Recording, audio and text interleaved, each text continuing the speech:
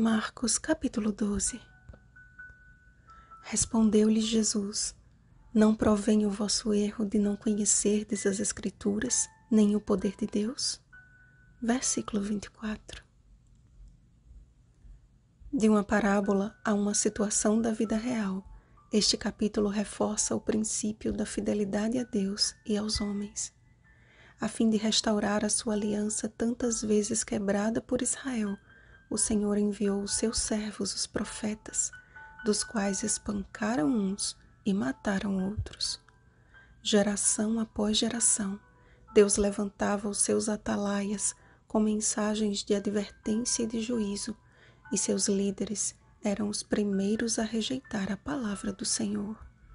Desta forma, ao enviar ao mundo seu Filho amado, pela dureza de seus corações, fizeram com ele pior do que fizeram aos profetas, matando-o e atirando-o para fora da vinha como um indigente.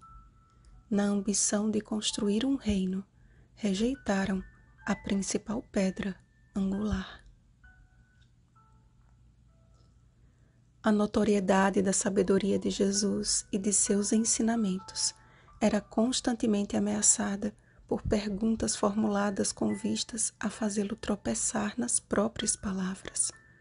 O ódio nacional contra Roma pelos encargos que tinham de se submeter, principalmente quanto aos encargos tributários, era o combustível principal dos líderes judeus. Ódio que era transmitido ao povo em forma de interpretações das Escrituras, conforme suas expectativas quanto ao Messias como um líder militar e político.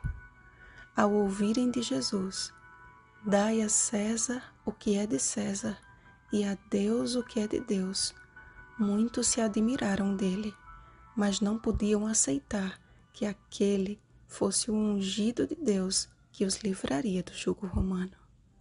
Com os olhos fixos em um reino terreno, perderam de vista o reino de Deus. Os saduceus, por outro lado, tinham a ressurreição como seu objeto de debate favorito. Descrentes sobre a ressurreição, apresentaram a Jesus o fundamento arenoso de sua crença, suas próprias conclusões a respeito do que Moisés nos deixou escrito. A Bíblia fala a respeito de duas ressurreições.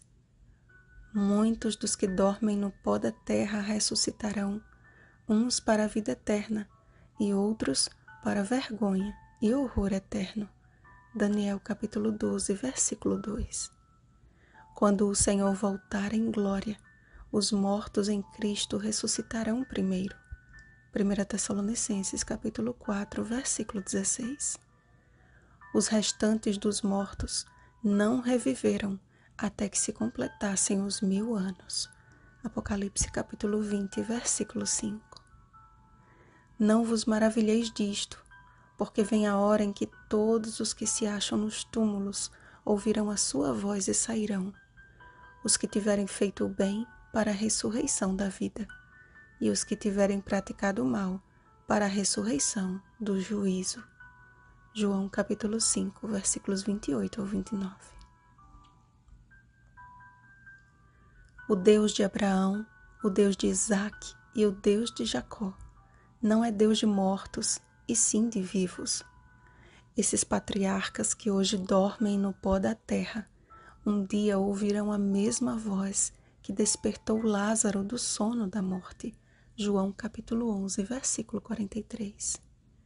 Pois aqueles que morrem em Cristo foram salvos da morte eterna e logo serão despertados para encontrar o Senhor nos ares e assim estaremos para sempre com o Senhor.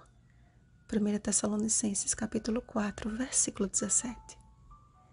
A ressurreição de Jesus e sua vitória sobre a morte é a nossa garantia de que nem a morte poderá separar-nos do amor de Deus que está em Cristo Jesus, nosso Senhor. Romanos capítulo 8, versículos 38 e 39.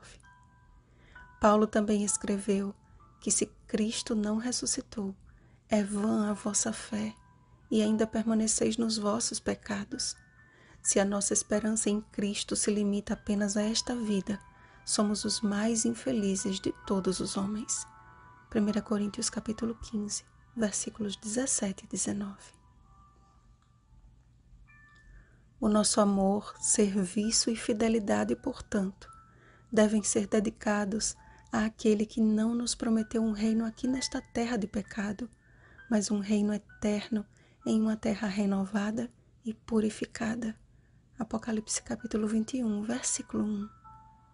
O grande mandamento que deve estar escrito nas tábuas de nosso coração consiste em amar a Deus e ao nosso próximo, não pelos critérios humanos, mas acima de todos os holocaustos e sacrifícios, acima de toda tentativa de justificação própria. Pois a fidelidade não é uma barganha com Deus, e sim uma resposta de gratidão ao Deus que nos salvou e que, por sua graça e bondade, promove a transformação do nosso caráter um dia de cada vez. A genuína compreensão das Escrituras resulta na fé que atua pelo amor. Gálatas capítulo 5, versículo 6. É uma obra divina e não humana. A nossa parte é a de como aquele escriba aceitar e crer. Muito bem, mestre, e com verdade disseste. Assim fazendo, Jesus nos diz: Não estás longe do reino de Deus.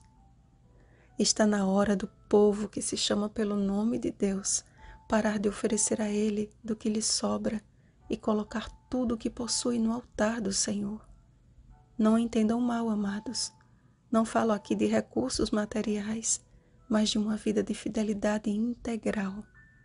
Quando compreendemos que Deus nos enviou o seu Filho amado como oferta em nosso lugar, os recursos materiais já não são mais motivo de preocupação, e como a viúva pobre, ofertar se torna um ato voluntário de amor ao Deus que nos salvou.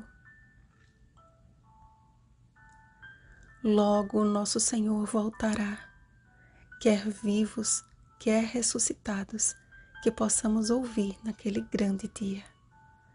Muito bem, servo bom e fiel, foste fiel no pouco, sobre o muito te colocarei. Entra no gozo do teu Senhor. Mateus capítulo 25, versículo 21. Vigiemos e oremos. Bom dia, servos fiéis de Cristo. Rosana Garcia Barros